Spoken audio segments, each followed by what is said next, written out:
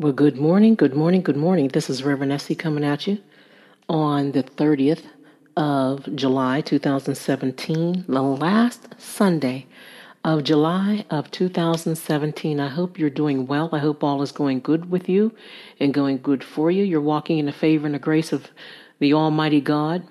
If you woke up this morning, you have some grace. Amen. You have some favor. Amen. And I'm coming at you today from New Birth Ministries. And I call this micromana just a little bit of word. So if you don't mind, I'd like to open up with prayer and invite God in. If you don't invite God in, then you're doing it all by yourself. Amen. Heavenly Father, Lord God, I Thank you for being God all by yourself. I thank you for being our God, the one and only, the highest, the God of all gods, the King of all kings, Jesus and the Lord of all lords. Thank you for being the creator, creator of all things. Without you, there is nothing that was made without you. Everything that exists is because of you. And we thank you, Father, for the good. We thank you for the bad. We thank you for everything. If it wasn't for the bad, we wouldn't learn. If it wasn't for the good, we'd have no hope. Thank you for being our hope. And thank you for being there for us. Whether we deserve you or not, you're still there for us because you are love. Your word even tells us God is love. And this is what you want us to do. You are love to us. You're lovable to us and with us, and you want us to love one another. You are love. We cannot say that we love you if we don't love one another. There's so many people going around, Father God, and they're doing the Christian thing, the holy thing, what they call the the, the godly thing, and they, they're they're doing things in church, they're preaching and teaching and miming and and, and serving and, and doing whatever they can in the house of God. But when they get outside the house of God, they duck and dodge one another and don't even want to speak and say hi. This is not of you. Father God, we have a long way to go a long way to go.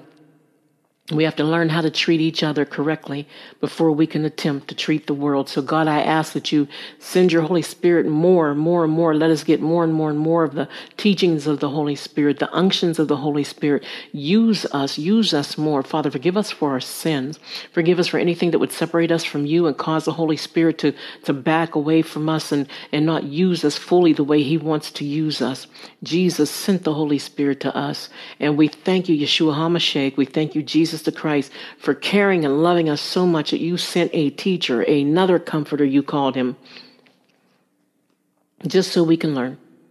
And I ask that we give us more. Everybody's asking for more money, more vehicles, more houses, more land, more love, more this, more that.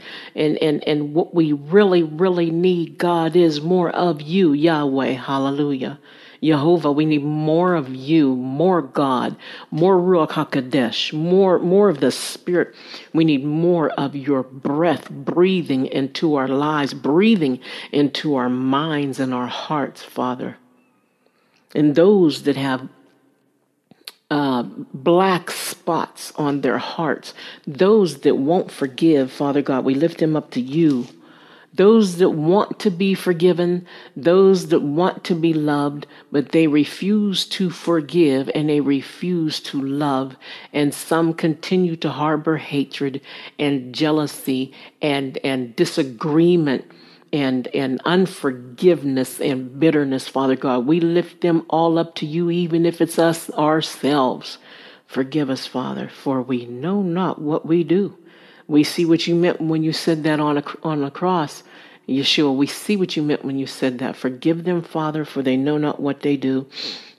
And also forgive the ones that do not realize that we are the new sanctuary. We are the new ark. You dwell in us. You want to dwell in us.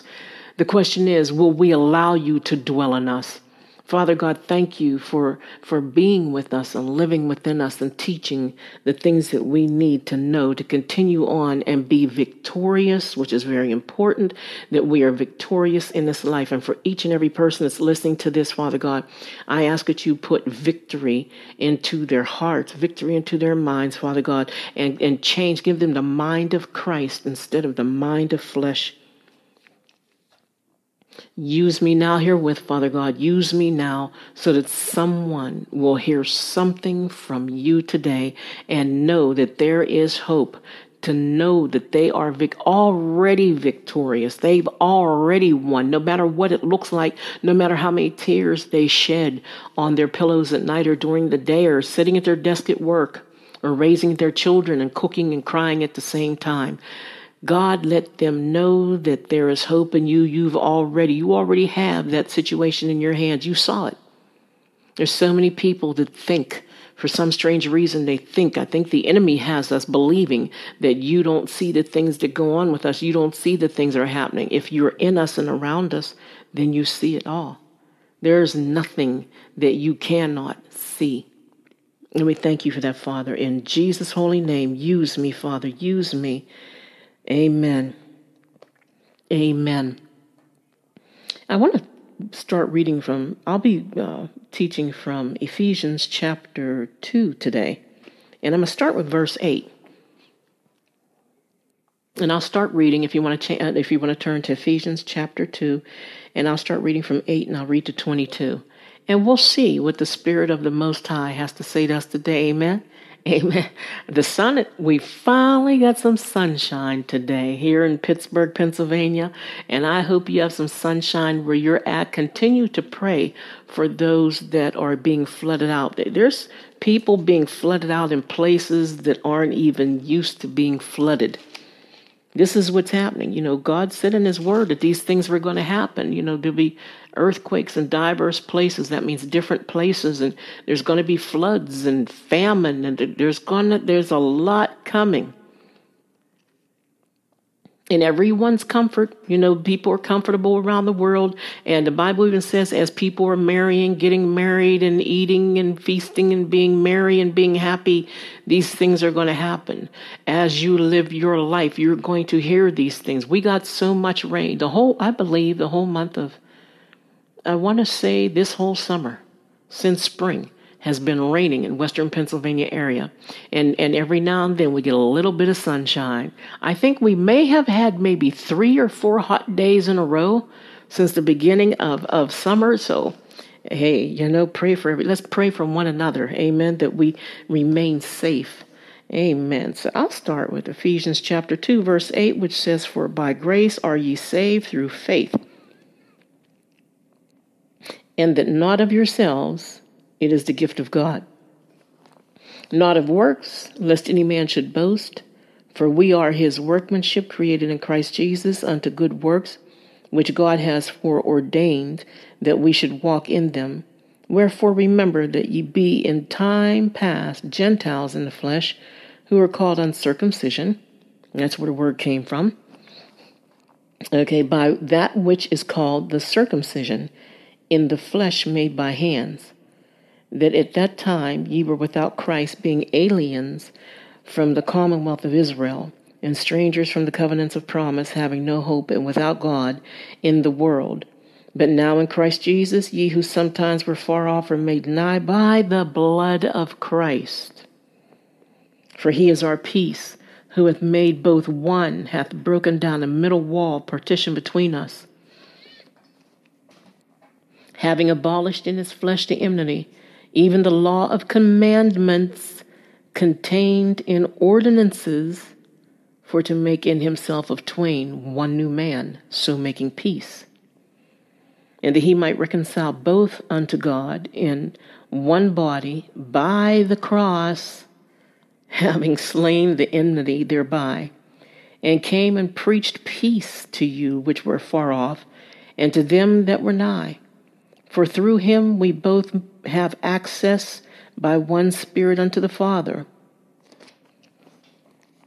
Now therefore ye are no more strangers and foreigners, but fellow citizens with the saints, and of the household of God, and are built upon the foundation of the apostles and prophets, Jesus Christ Himself being the chief cornerstone in whom all the building fitly framed together groweth unto a holy temple unto the Lord. In the Lord, in whom ye also are builded together for habitation of God, for a habitation of God through the Spirit. And I hope uh, Uh, God adds a blessing to the reading of the Word. His Word is awesome. There's always a blessing in the reading of God's Word, whether you read it out loud, whether you read it to yourself, meditate on it, concentrate on it, tell somebody about it. Amen. There's a blessing in the Word of God. God's Spirit is in the Word. That's why there's so many devils out there trying to say that the Holy Bible is not holy and it's not God's true word, and if you believe in it, then you're crazy and, and, and, and this is what they're trying to say that, that the word of God is not true. We understand there's been some words and sentences tampered with or changed throughout the, the years, 2,000 plus years. Okay, but when you read it in the spirit of the Most High God, He'll give you the correct meaning of every sentence. God will, ex- the Spirit of God will explain to you what every sentence means. You read it word by word, sentence by sentence, and you will get the meaning. There are some people says, "Oh, I read the Bible from the beginning to end." No big deal. I know the whole Bible. Okay, some people have what they call a photogenic memories, but that doesn't mean that they're Christians.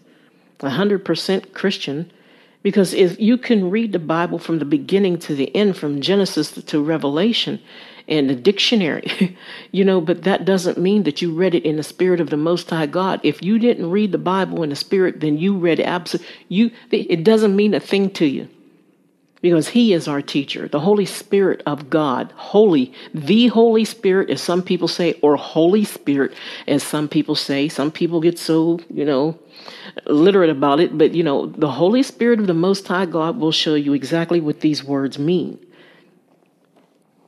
Starting with verse 8, depends on where your heart is at. If your heart is in the Word and you want God to show you something, He'll show you something.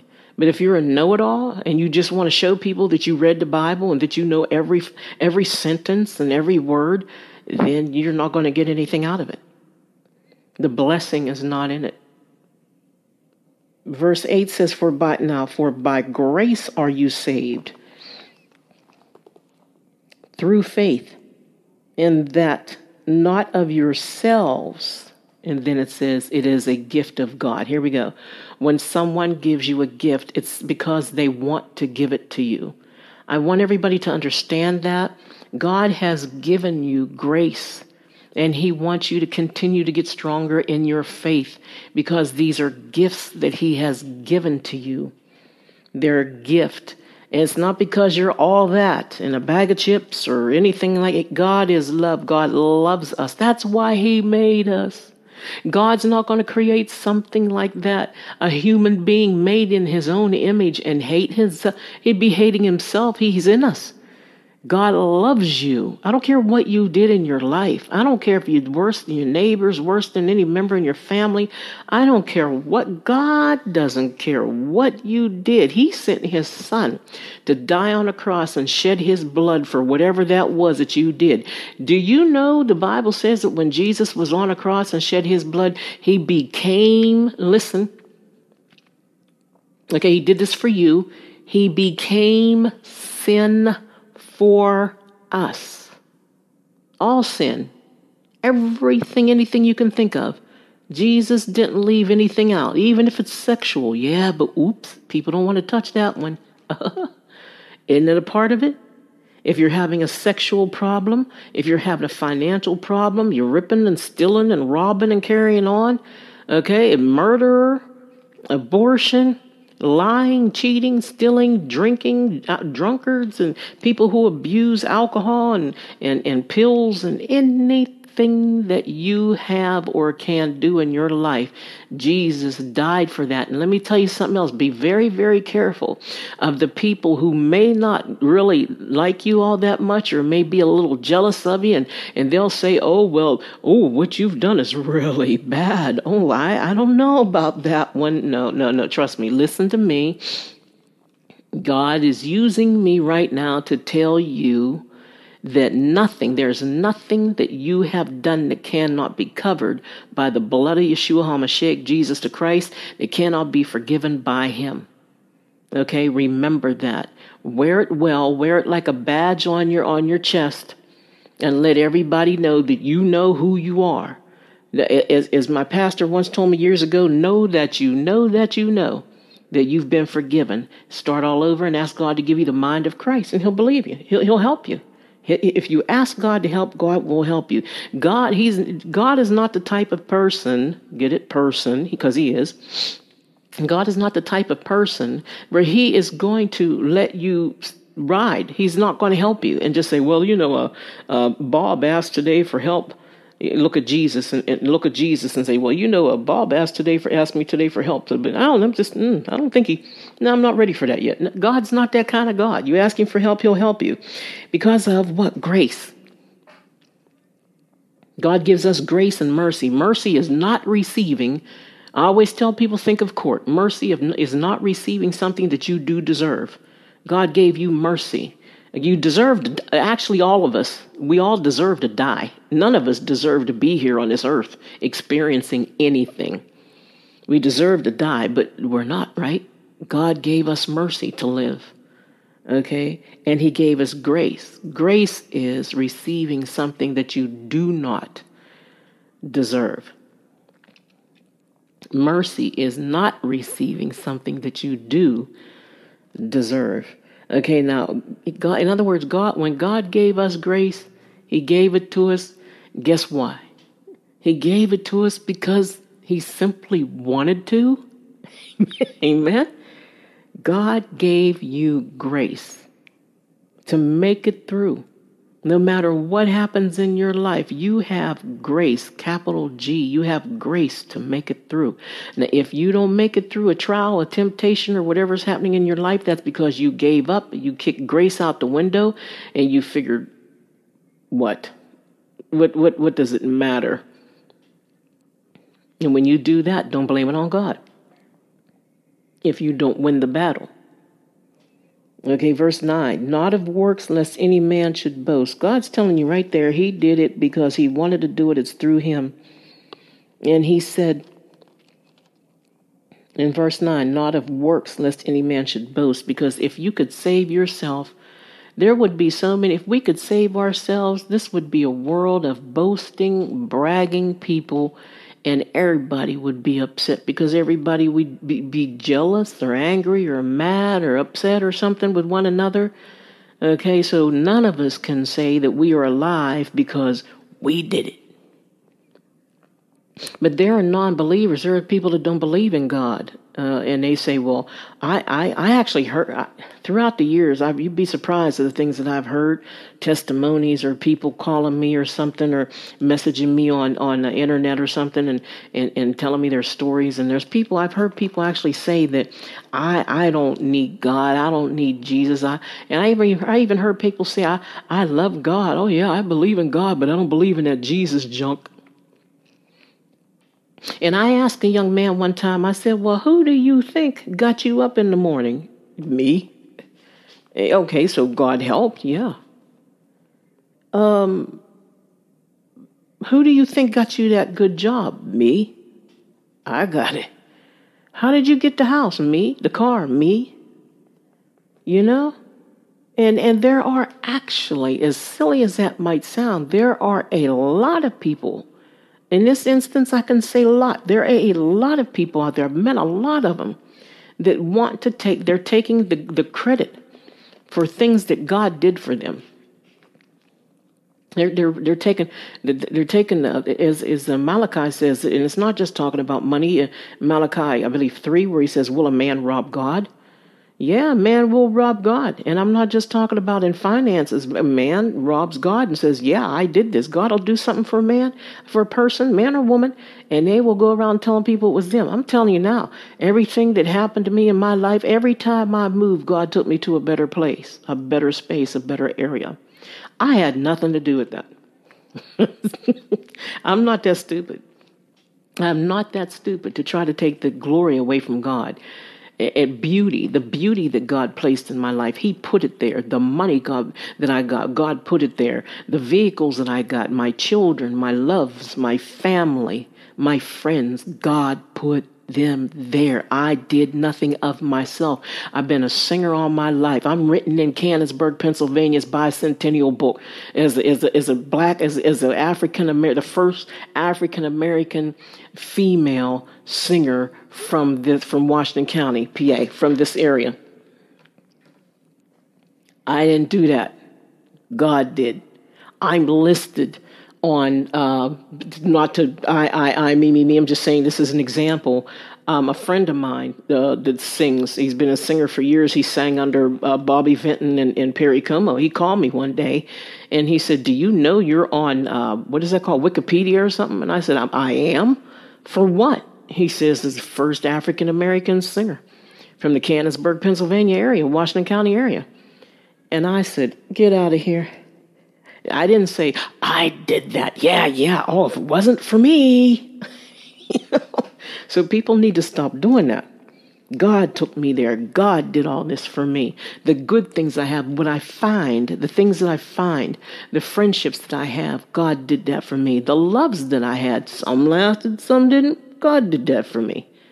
Okay, you know, we need to give God credit for everything. I can I have a habit of saying Baruch atah Adonai. It's bless God. I bless God in the morning. I bless Him in the evening, and I feel guilty when I don't say it. I have, I have to uh, forgive myself because there's times where I forgot to say it or something. You know, I'm not meaning to, but I love to bless the Lord. You don't have to say Baruch atah Adonai if you don't want to. Adonai is one of His names. Okay, you just say bless the Lord. Like old people, you ever hear old people say bless God, bless God, Amen, bless the Lord. Get into that habit. That's why they did it, and that's why they lived long enough for you to hear it. And verse 10, for we are his workmanship. Create, see, God created us. We are his workmanship. He made us. We are his workmanship created in Christ Jesus unto good works, which God has before ordained before, uh, I mean, that we should walk in them. God in, ordained it. God made the specs. Okay. I don't know if you know much about um, building houses or carpentry or, but they, they have something called specs. They have to. You just can't build a house on a whim. Well, I guess some people have, you know, like out in country, country folks or something or whatever. But you you make specs. You gotta you gotta you gotta make lines where the doors are going to be and, and where the basement's going to be and where the walls are going to be, where you're going to put the bathroom at. You got to sketch all that out first. God made the specs. Just think when you think about your life, and guess what? God made the specs. He made what color your eyes. He created the color of your eyes. God said your eyes were going to come out this color. God said your skin tone, your fingernails, God created you. He had you in his specs. You are his workmanship. Verse 11. Wherefore remember that ye being in times past, okay, in old times, when you were Gentile, sinning and carrying on, it says in your flesh, you were you, who were called uncircumcision by that which is called circumcision in the flesh made by hands. Okay, years ago, before you got saved, before you accepted the Lord, you was out there sinning. All of us were. We were all like, don't let somebody tell you, oh, I've been great all my life. I never did anything wrong. Because the Bible says if a man says he has not sinned, he's a liar. So don't let anybody tell you they haven't sinned. Everybody came from somewhere. Everybody had their high school days, their college days, their first kiss, and God only knows what else. Their first toke, their first toke, okay, their first snort, their first their first drink, their first cuss word. Everybody did something somewhere, okay? Verse 12, uh, that at the time ye were without Christ. See, when you were out there sinning, you didn't have, you wasn't thinking about Jesus. He was out there sinning. And you know, sin is good. Some sin, and people sin because to them at that time, okay, listen to what I'm saying. To them at that time, comma, sin is good. That's why they do it. Okay? Because they're without Christ. They have yet to taste the goodness of life, the goodness that God wants them to feel and taste. Being aliens from the commonwealth of Israel and strangers from the covenants of promise, having no hope, See, people who are out there sinning have no hope. That's why you see so many people that want to commit suicide. They feel bad in their lives, or, or you know, I don't want to live anymore. And this is my life is is my life sucks, or you know, I'm a I'm a bad husband, I'm a bad wife, and I'm a bad kid, and blah blah blah, because they have no hope. They were out there sinning so bad. Do you know that sin blinds people? Sin will blind you. Sin blinds people to the point. It's like putting on a pair of sunglasses, and you know you don't even need them. It covers everything. Sin blinds people to the point where they feel they can't feel the true love and fresh air that God wants them to smell and feel and have. They're so busy sinning. They're so, they're out. There. You know, the Bible says you are you. you uh, God told people a certain amount of people who are out there sinning and, and living bad lives. He said you are of your father, the devil. So yeah, there's two fathers, so to speak. There's an earthly father. His name is Satan, Lucifer, whatever you want to call him. And there's people. He is their father. And then there's a father above, the father, the creator of all things, the good, the good daddy the daddy that, that takes care of us and pays his child support, so to speak, okay? Okay? Which father are you going to pick? See, BC, before Christ, you're out there sinning. Now it's after after uh, Christ. You know, you should be clean, have a new mind, change your life. And it says, strangers from the covenants of promise have no hope and without God in the world. But now, okay, things are changing now. We had spiritual poverty and godlessness and hopelessness before. But now that you have accepted Yeshua HaMashiach, Jesus Christ, as your Savior, which we need, but now in Christ Jesus, you are sometimes you were sometimes far off and made, but now you're made near to Him by His blood, the blood of Yeshua Hamashiach. This is why when you watch the Ten Commandments and and God told uh, Moses and him to put blood over the door on the doorposts and everything, they were covered by the blood. They were covered by the blood of the Lamb.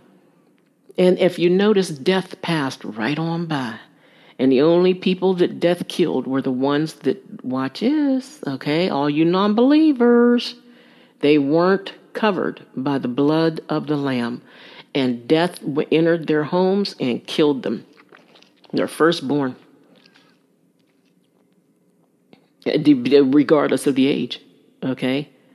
Some of the husbands were firstborn. So you can only imagine how many died when you look, listen, when you are not covered by the blood, when you don't believe in Yeshua HaMashiach, Jesus the Christ, when you are not covered, you live a very uh, unmeaningful short life, miserable.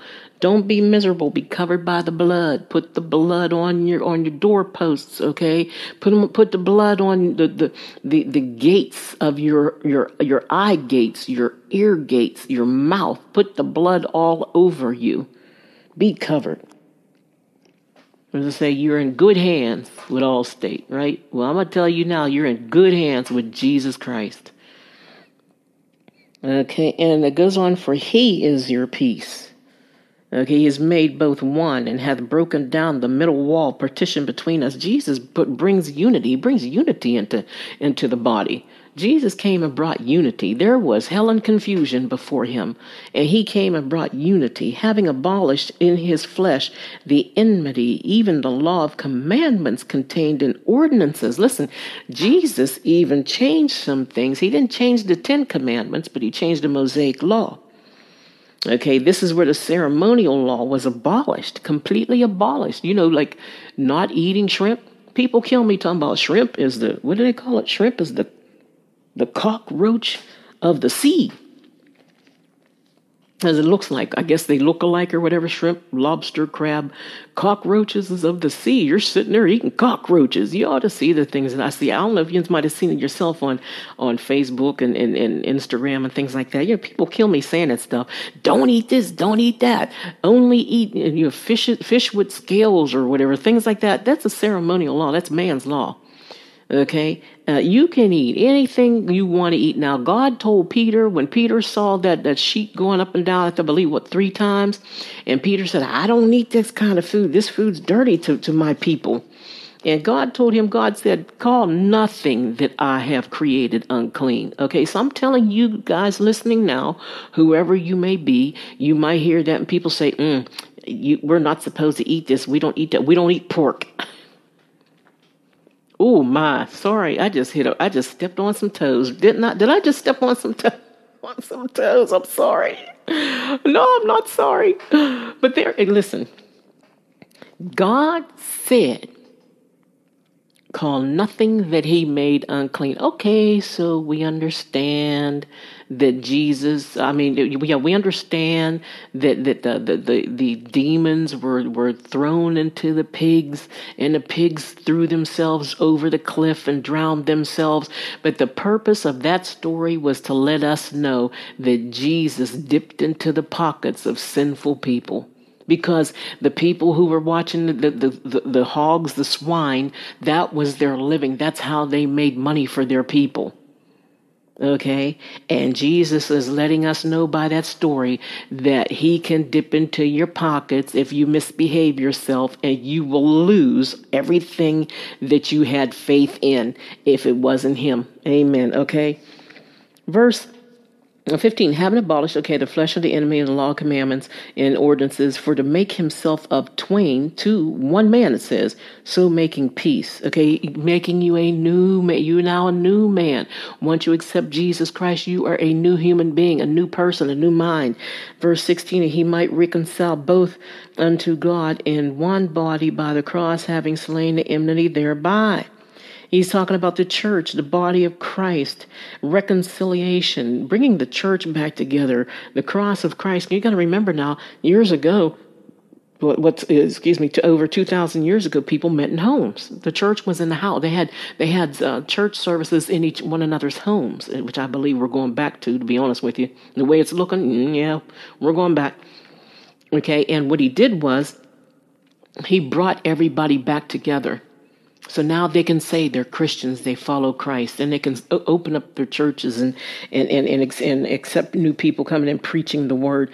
And it goes, um, uh, verse 17, he came and preached peace to you which were far off and to them that were nigh. For through him we both have access by one Spirit, as the Spirit of the Most High, unto the Father. Access. He is the mediator Jesus Christ is a mediator between man and God. There is no other. So if you're trying to get to God through anybody else, forgive me, and no, it wasn't Mary either. No, it's not. It's not wood, stubble, stone, or hay. It's not idols. It's not statues. If you are trying to get in touch with God in any other kind of way, you are not doing it the correct way, but it's not going to work because God said, Look, God said, believe in my son, or you won't hear from me. It's that simple. If you can't listen to my son, you're surely not going to pay attention to me. You're foul. Get away, I don't know you. Jesus said, I am the way, the truth, and the life, and no man goes to the Father but by me. Jesus is trying to tell us that this is how his God does it. And if you, his father doesn't, and if you don't do it, then you're not going to make it. And the Bible even says anybody who tries to get to heaven any other way is a thief. Okay, there's people think, well, I can get to heaven. No, I don't. I could do anything. I can live any way I want to. Just do it. We're supposed to say, we're just supposed to just do it. Live our lives any way we want to. We'll worry about that when we get there. But guess what? If you don't believe in God and, and worship Him on this side of the grave, you're not going to make it on the other side. So do it now. Accept Jesus Christ as your Savior right now. You're not going to make it. Now, therefore, you are no more strangers. He says, once you accept the Lord and, and accept Jesus Christ as your Savior, he says, uh, you are no more strangers and foreigners, but fellow citizens with the saints and in the household of God. You are now part of the body. You're not a schism or a ism. You are now part of the body. You're not uh, there's no diabetes in the body of Christ. There's no arthritis in the body of Christ. But when you try to get in, that's what you are. You're like a disease. If you don't, ex- oh my God, thank you. I didn't mean to go there. Thank you, Father. But if you're trying to enter, my God, if you're trying to enter the body of Christ without going through Jesus, you're like a disease. My God, my God. And all you're going to do is tear the, by God, tear the body down. Arthritis, diabetes, dermatitis, alopecia, fibromyalgia, cancer. Okay, everything that you can think of that is what you are like trying to get to God without Christ. And God does not see sinners unless they accept his son. God's not going to accept you because look, if you're diabetes and fibromyalgia and you're trying to get to God and you go through Jesus first, Jesus is going to clean you up and you will get to see God. My God, that was for somebody. If it was just for one person, that was for somebody. Thank you, Father, that made it all good. Amen. For through him, uh, we both have access by one Spirit unto the Father. Okay, and then it goes, what is that, 20? And are built upon the foundation of the apostles and prophets and Jesus Christ himself being the cornerstone. That means you are, look, anybody that can't sit under a, an apostle, a pastor, a teacher, a preacher, anybody that can't sit under somebody, anybody that can't sit under a leader will never be a leader. Because you have to learn. Okay, talking about the apostles and everybody here. Verse 20, and you're built upon okay, the found okay. Verse 21, in whom all the building fitly framed together groweth unto fitly framed together, fitly framed together. Not one person time better than the other one. Everybody's holding hands here unto a holy temple in the Lord. Not just a house, not just a place, holy. God said, Be ye holy, for I am holy. That doesn't mean go out and get sloppy drunk in a bar or something and start or cuss, cuss like a banshee and then call yourself holy. You ain't holy. You have a problem. There's a schism there.